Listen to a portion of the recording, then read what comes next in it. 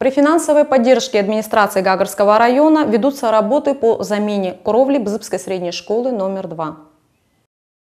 Бзыбская средняя школа номер 2 имени Константина Иналыпа была введена в эксплуатацию в 1985 году. С тех пор здесь частично проводились различные ремонтно-восстановительные работы. В 2010 году была полностью заменена кровля. Но через пару лет из-за некачественно выполненных работ жестянка стала протекать. Во время дождей вода стала просачиваться внутрь, стены школы покрылись сыростью. О данной проблеме дирекция школы неоднократно докладывала в администрацию района, и только нынешнее руководство отреагировала на их просьбу. Две недели назад здесь начались работы по демонтажу. На данном этапе старая жестяная крыша разобрана, конструктивная часть поменена. По словам прораба Тимура Зачкотова, в течение двух-трех месяцев работы по покрытию кровли будут завершены.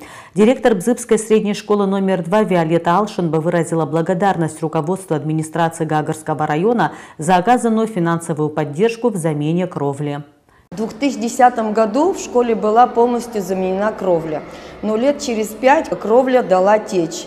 Мы несколько раз обращались э, в Гагринскую администрацию, приезжала комиссия. Вот сейчас благодаря администрации Гагринского района, в частности Хагуш Юрия Львовича, у нас ведутся работы по замене кровли. Уже работы ведутся э, в течение двух недель. Почти все э, трехэтажное здание почти вся кровля снята, демонтаж проведен. Э, нам обещают в течение двух-трех месяцев заменить всю кровлю.